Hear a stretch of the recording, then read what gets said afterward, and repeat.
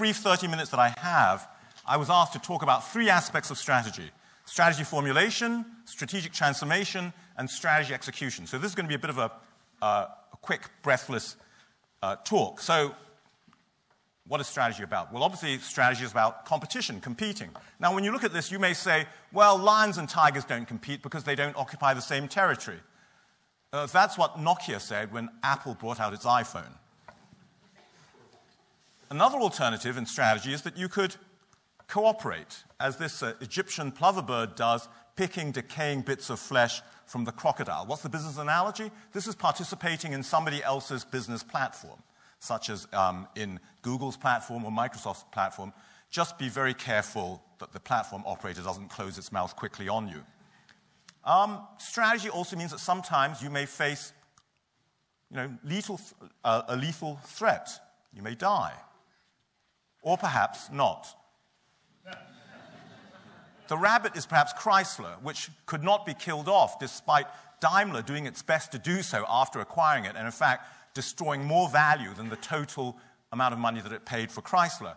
Or it could be Dyson, which, when it first started with its uh, bagless vacuums, you know, Hoover the giant thought it would just eat it up, but now Dyson's far more successful than Hoover. And in fact, the human resources uh, director of uh, Dyson is in the audience amongst us. So, you know, on this note of a changing world, we all know that uh, previously successful companies have collapsed. So clearly, both BlackBerry sold now last week for 5% of its previous peak value of uh, 80 billion, sold for about 5 billion. A Nokia out of making mobile phones altogether. Uh, RBS, perhaps a bit too painful for a British, mostly British audience to hear about. But the interesting story from an HR point of view is General Motors.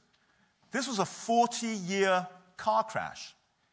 You know, you could see this coming for 40 years. And I won't go into the, and a bit later on, I'll perhaps talk a bit about how you can have an inertia where you can crash for 40 years and not see it coming. Uh, one simple reason was that the directors of General Motors never drove the same cars as their customers. Why was that different? Because every day when they drove it into the company garage in Detroit, it would be serviced.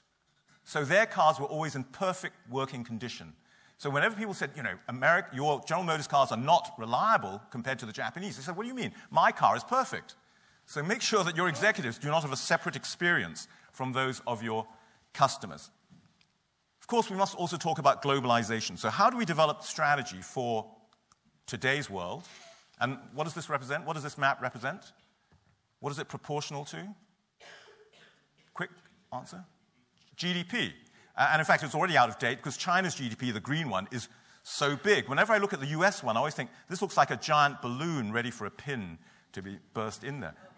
Look how important Europe still is.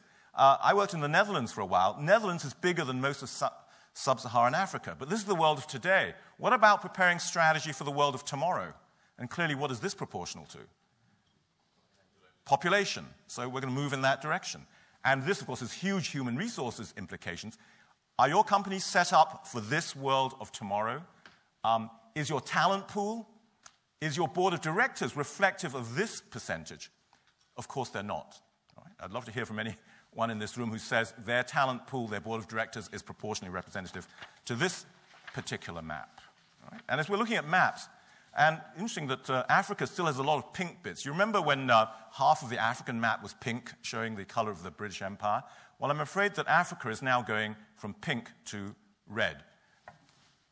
China is way ahead of everybody else. Chinese companies are way ahead of everybody else now in the new Africa. And of course, Africa is finally taking off. Um, as the saying goes now, Africa is hot. And you know what was the killer app for Africa? What has been the killer app in the last 10 years for the growth of the African economy? The mobile phone.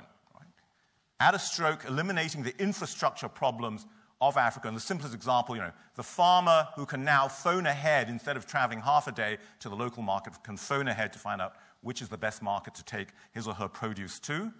And now we're getting uh, mobile payments, again, uh, another killer app to help them. So, speaking of China, which is the Chinese company that is the most feared by the West?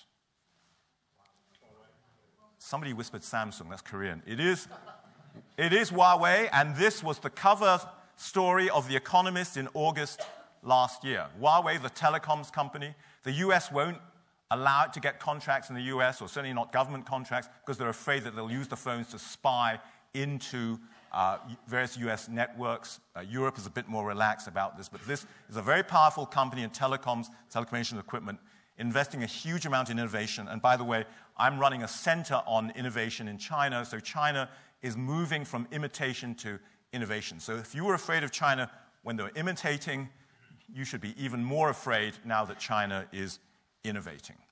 All right, so just uh, some uh, thoughts to shake you up a bit. Let's turn now to something more conceptual. Why does strategy matter? And I'll go on also to define strategy, but for me, strategy matters because effective strategy gets you better performance with fewer resources. Of course, the whole point of business is to get performance, financial performance. And we are always limited in resources financial resources, people resources. So, a better strategy, a more effective strategy, a cleverer strategy gets you better performance. You can think of it as an input output ratio. You can always do it the dumb way, which is you throw more money at the problem. You can also do it the smart way by having a smart strategy that may avoid head on competition uh, and some other way in which you get superior performance that way. We also all know that strategy is extremely difficult both to formulate and particularly to implement and to execute.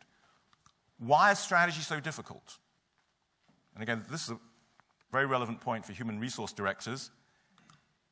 If managers were going to do it anyway, you would not need a strategy. So, strategy is about getting the organization to do something new, an unnatural act, change. And that's why we always have this problem of getting people to embrace a new strategy. And this is why General Motors took 40 years to wake up to, say, the simple strategy of shifting to fuel efficient cars.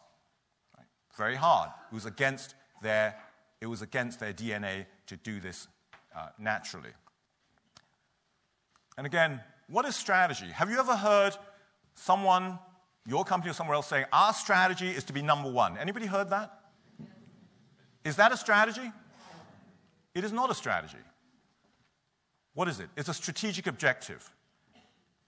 Nor is it a business model. In fact, a lot of the previous writing on strategy has had us confused. They confuse a business model, which is static, how we are configured to make money to operate.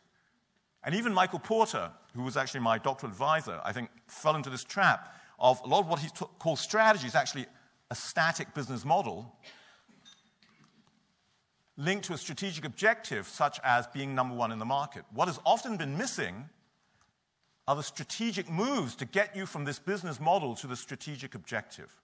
Right? So when someone says our strategic objective has been, our strategy is number one, that's not good enough. What are the moves you're going to make to get there? So a complete strategy combines these three elements of the strategic objective um, based on the business model and the strategic moves. Now, some strategic objectives you know, can be very clear, and it's very nice if you have a very clear objective that is memorable, motivational, and memorable. My favorite example is just coming up. When Toyota launched the Lexus division, their strategic objective was to build a car that could compete with Mercedes, BMW, the luxury brands, the very best in the world. And they put up a slogan in every factory and design room two words in English beat Benz. Memorable, motivational, measurable, and they succeeded. Furthermore, they were able to do something that General Motors and Ford would have loved to do, and I don't even dare mention British Leyland, um, but they were not capable of doing it. They were capable of doing it. They spent 10 years investing to launch the Lexus, and Nissan did the same with the Infiniti division. Clear objectives help. Having a clear enemy also helps. Who is this enemy? From the most, the greatest television commercial ever created, popularly voted the best TV commercial ever created. Having a clear enemy helps when you're a challenger. This is from the same TV commercial. Which TV commercial is this? And who is the enemy? IBM is the enemy. Apple is the challenger. And what was the TV commercial for?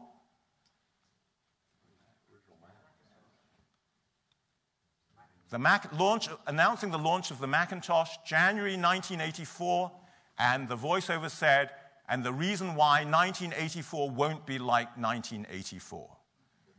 So, this was, IBM was Big Brother. Apple has been always very good at having an enemy. It was IBM, now IBM has fallen by the wayside. The new enemy is uh, Microsoft, and probably the next enemy is Google and uh, Android. So, setting up the company emotionally to execute strategy makes a big difference. I actually came across uh, one CEO who referred to himself not as the chief executive, but as the chief emotional officer of the company. Perhaps you, as the HR directors, you can be the chief emotional officer. All right, let's go back to something more conceptual again. And there's a very nice framework from an article last year in Harvard Business Review that says there's you know, more than one style for formulating strategy. In the bottom left hand box is what we call classical strategy, such as oil companies have. The environment is, has got high predictability, except you know, for a few shocks that you might get now and then. And it's low malleability, which is you can't change the environment very much. So you have this sort of classic Michael Porter type strategy that oil companies, auto companies might have.